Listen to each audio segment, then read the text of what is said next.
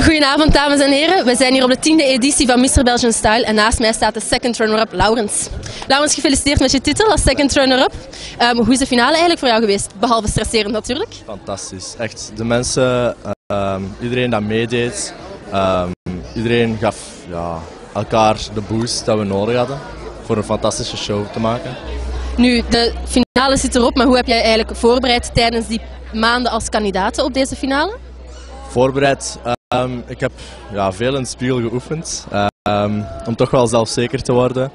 Um, dan ook wel veel uh, gefitnessd en met mijn eigen uh, lichaamsgewicht getraind en zo eigenlijk. Uh... Dat hebben we kunnen zien bij je talent. Dank je, dank Hoe ben je daar eigenlijk bij gekomen om dat als talent te doen? Want dat is ook niet dat we elke keer gaan zien natuurlijk. Goh, ja, ik dacht, ik, ik wil iets speciaals doen en um, ja, dat is wat ik het meeste doe momenteel. Dus ja, ik wil dat meegeven aan het publiek.